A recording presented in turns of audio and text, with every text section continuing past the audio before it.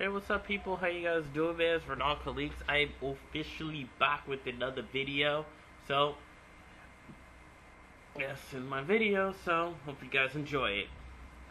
So, the night did kick off with the pre-show show match, Brodus Clay versus David Otunga. I didn't see that match, and turned out Brodus Clay won, which I thought indeed David Otunga won. And only two dollars and eight cents an issue. That's a hot price. Sorry. And then we see uh, World Heavyweight Championship, an opening night, which I didn't expect to be an opening. Sheamus versus Dolph Ziggler. And um, apparently, um, Sheamus and Ziggler put on an amazing match. Well, not really an amazing match, but Ziggler actually did pretty well on it. I thought, um, you know, Dolph Ziggler looked great in the ring, but to see him overshadowing Jack Swagger, it's like, why is Jack Swagger basically turning into a jobber? Maybe that's how he's been booked lately, but he was a World Heavyweight Champion for four months. Dolph Ziggler's been World Heavyweight Championship for four minutes. Dolph Ziggler's never getting a shot at the title. Like, I mean, he's never getting a. Um, he's never going to be World Heavyweight Championship except that time Edge was fired and he got crowned.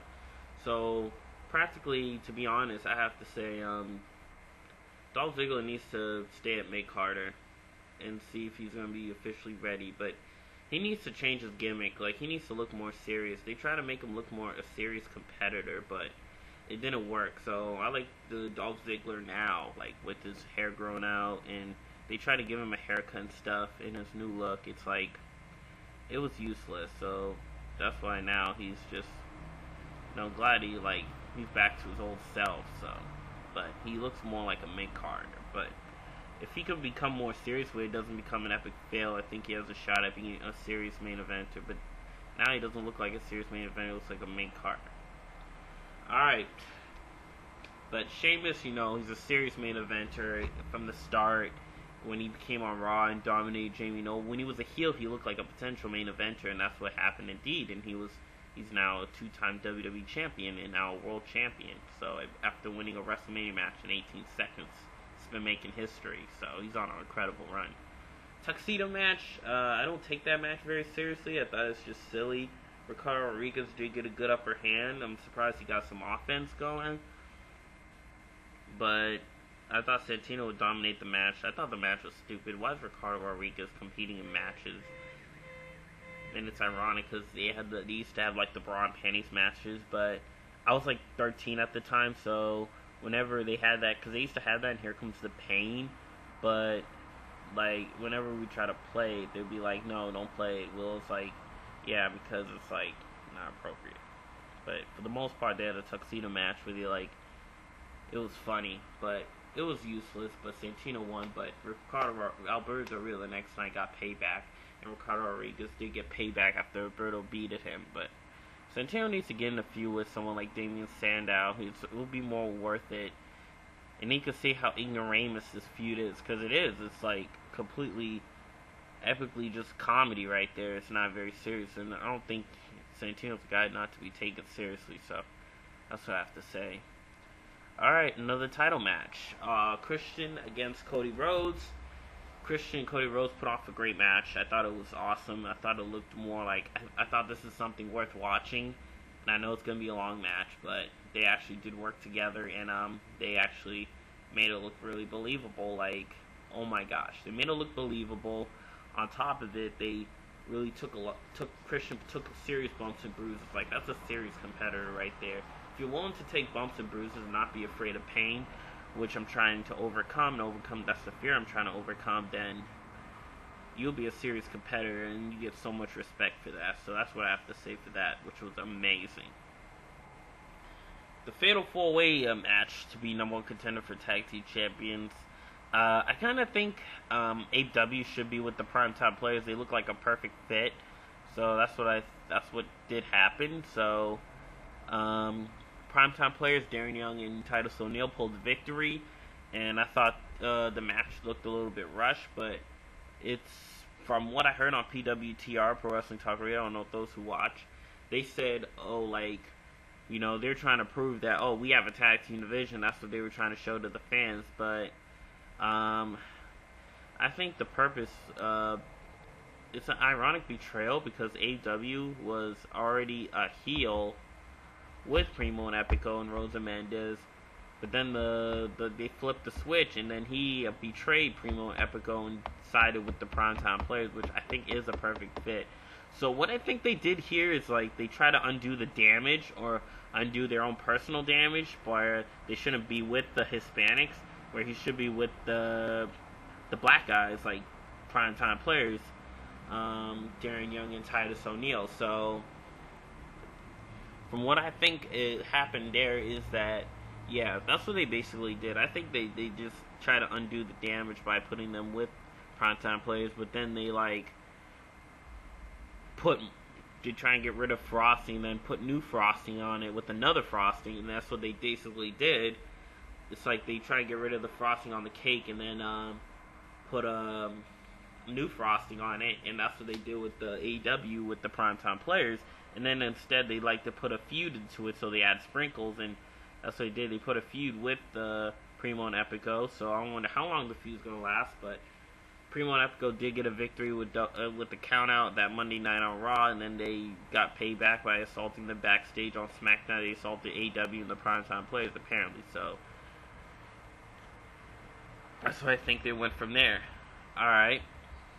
Next match we had was Layla versus Beth Phoenix. Okay.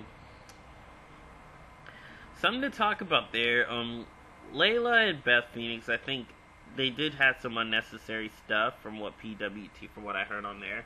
But I think the Layla thing with her wearing the crown, like with uh, Beth Phoenix, and, with wearing Beth Phoenix the crown, doing the taunting and the silly dancing. Uh, I think um, she did the same thing with The Rock, except The Rock was able to at the same time probably look serious when he wore the Hurricane crown. I mean, when we heard that we wore that Hurricane cape when he had his match against the Hurricane, he taunted him, but at the same time he was able to compete. Um, Layla, they tried to do the same thing with Layla, personally, from what I think, and then she wore the crown, and then she tried to compete with the crown, taunting her at the same time and putting on her moves and stuff. And I still think it was great, but I think it's like with Beth Phoenix trying to assault her. It looked cliche because she she just gets angry and tries to assault, and then it backfires, and then she ends up getting beat. That's what I think they did there, and I think um, from what happened is it's like they did put on a good match at Over the Limit, which was okay, but I think um, what they did is they put pizza. It's like the pizza is fine without any sauce or anything or toppings, and then it's like you try to put barbecue sauce on the pizza, and it's like oh, it's supposed to taste good. That's what I think they did there with the Layla dancing and stuff, but they still managed to like eventually put put make it more seriously at the end, which I think was it was like kind of like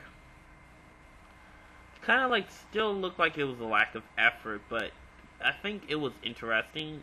Layla, you know, as a champion on her own, like without having riding Michelle McCool's cocktail, she is really like putting in an effort. Like I really appreciate her effort, and she is looking great in the ring. And apparently, um, uh, apparently she, you know, I didn't. I think they did that too soon. Like for Layla to wear the crown and stuff, and she acted kind of like heelish if you come to think of it. But at the same time, she was entertaining. But that was kind of unneeded, and they tried to do the same thing. The Rock did the same thing, but he somehow was entertaining and can uh really put on a good match and compete and look serious at the same time.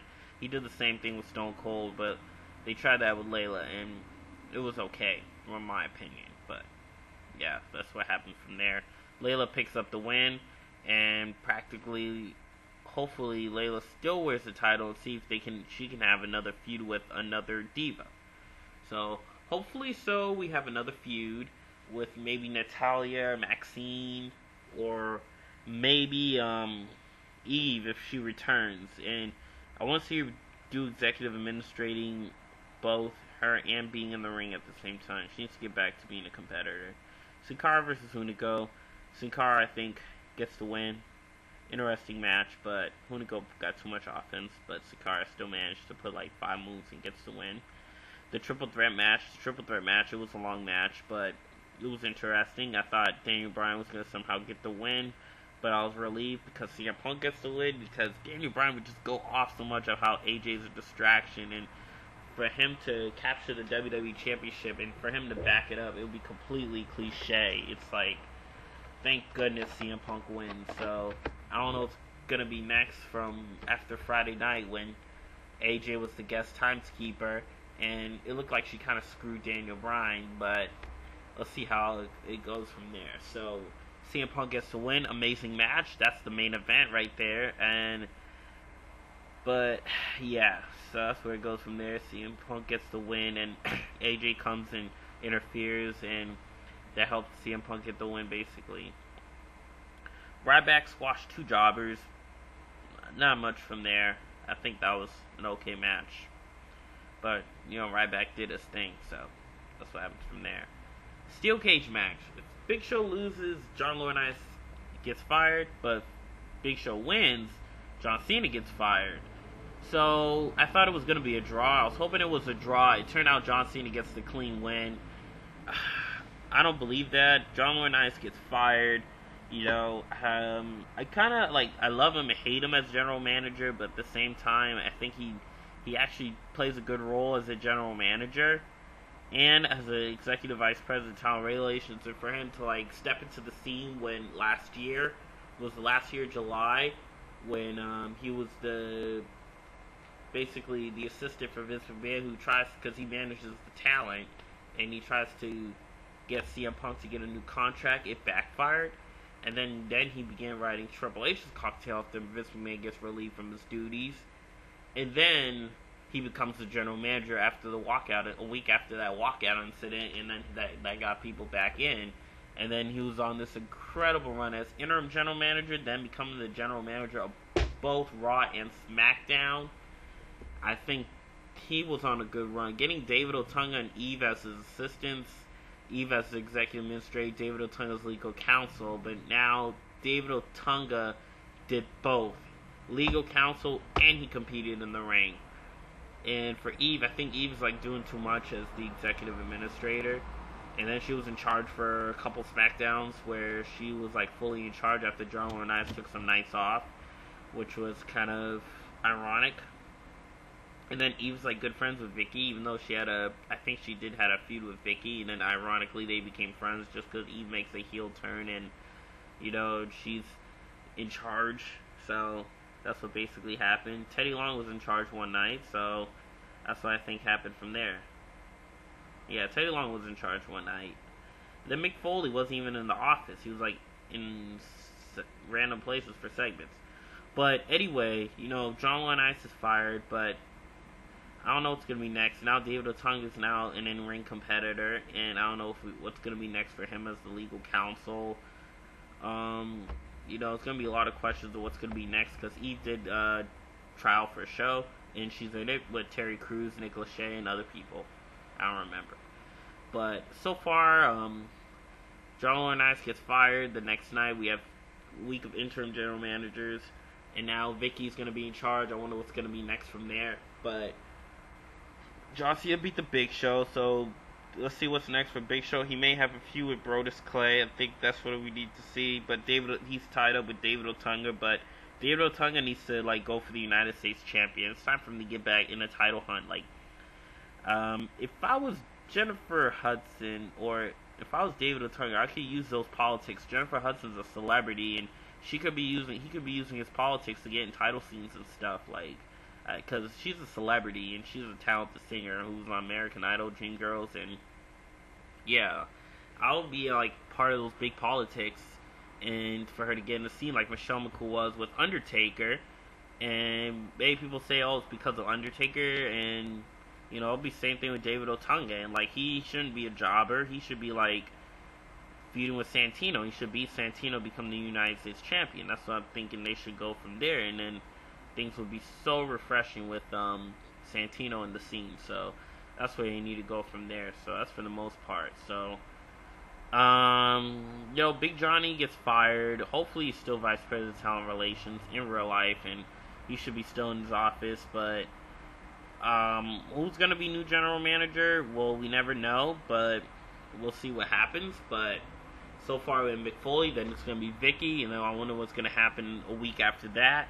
We don't know what's next, but yeah, let's let's see where it goes from there. So that's my No Way Out review. I give it an eight out of ten. I thought it was a uh, a good pay per view, even though it had some unnecessary matches. But you know they just need time filler for the most part. So that's where I think they need to go from there for the least of it. So that's my video, and I'll catch you guys later. Peace out.